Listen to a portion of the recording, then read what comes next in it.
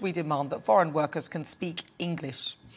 Interesting. I'm happy to say that I'm joined uh, by equalities lawyer Yunus Lunat to talk about this more. So, uh, Eunice, um, you've got experience, haven't you, of language barriers. Would you say that that's a negative thing or a positive thing? I think the most important thing is the ability to do the job. Um, it helps, yes, it helps if you speak the language, uh, but uh, above all, the important factor is the ability to do the job. Uh, look, where I work, I've worked in many, many places. Uh, we, we keep talking about integration. I mean, I use an example of a Christmas Christmas meal. Everywhere I've worked, there's been many colleagues that just haven't bothered, cannot be bothered to attend the Christmas meal.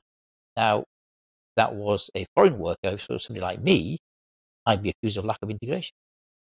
Okay, so you, you think that that's it's but the problem here, though, is so, for example, they might be really good at the job, but if they can't speak English, then that's not going to be great for those around them if they need to communicate. So, would it be bad if we were putting that as a, one of the main criteria for people who want to work in? The, the, issue we have at the moment, the issue we have at the moment is the lack of uh, workers. We, we need workers. It brings, it takes me back to the first generation, like when my father, when my parents did, they couldn't speak the language, but you pick up the language and you adapt and you develop. And as a result of my father coming here, not being able to speak much English, being able to get by, I'm a product of that effort and that integration. And here I am. And my brother, my brothers, no, we're all professionals. Uh, and there's um, many like us. If we put these barriers in place, then we as a society, we as a nation are not going to progress. What would you say to people, though? Uh, so, given your experience at school, um, but if the numbers are enough, it could uh, affect those in the classes. So, imagine in the classroom, if a lot of the kids can't speak the language, it'll hold some of the other kids back. Do you think that that's a, a valid argument? Will it? I mean, I, I go back to my school. At my school, we had a class where foreign nationals that came who could not speak English were all lumped in one class. And it reminded you of mind your language. But the product of some of those class, classes, some of the children in those classes were of remarkable, very good ability and have gone on to do very, very well once they got to grips with the language. Uh, I went to school when I started. When I went to school, I couldn't speak English. I could speak very little English. But it, it's the effort and the ability to get on and do the job. Language is something that people pick up.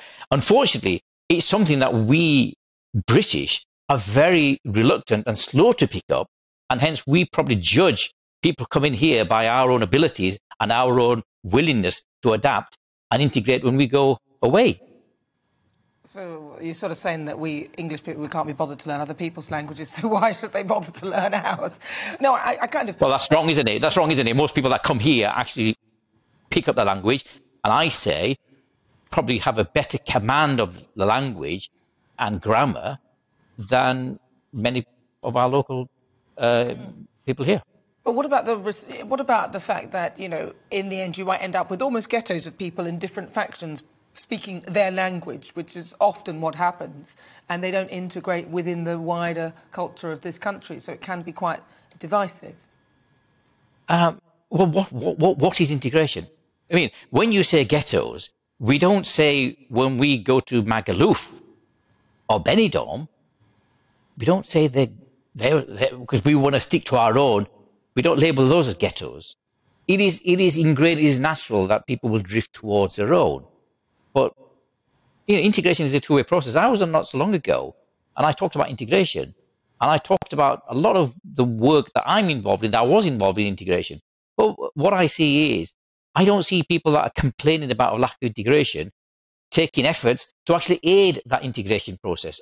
You know, I, I, I would ask every, for the for every person that says that foreign people are not integrating, I would ask them, what steps have you taken in the last two or three years, last five years, to actually aid that integration process? What have you done to aid that integration process? Mm. Yeah, I mean, it's true. They could, that's, that's true. But I think when you um, go to somebody else's land or country, then it, the onus is probably a lot on you to try and get involved in the culture as well. Obviously, you, you've been invited to their land, so it, it is a good thing for you to try and get yourself involved in what they are doing. In, Absolutely. On a, on a, practical level, though, whilst this is all very nice, on a practical level, um, is, is it actually something that is, it will actually is a problem? Because in the workplace, if you've got people who can't speak the language, it can be a problem. Potentially, yes. But what I'm saying is people will learn the language, will develop, and will integrate. Everybody I know that has come into a workplace that could not command the language very well has gone on to learn that language better than we do when we go abroad. You know, that's what I'm saying is if we are not going to adjust and give people that opportunity, then as a nation, we are not going to progress. We are going to get left behind in the global competitive world. That's all I'm saying. I, I, I just to make it a prerequisite, we're putting ourselves at a disadvantage because most people, people that come here, will will learn the language. Mm, mm, but that could be a strain on resources. But I hear you, Yunus. Thank you so much uh, for talking to us. That's Yunus You're welcome. Lunat.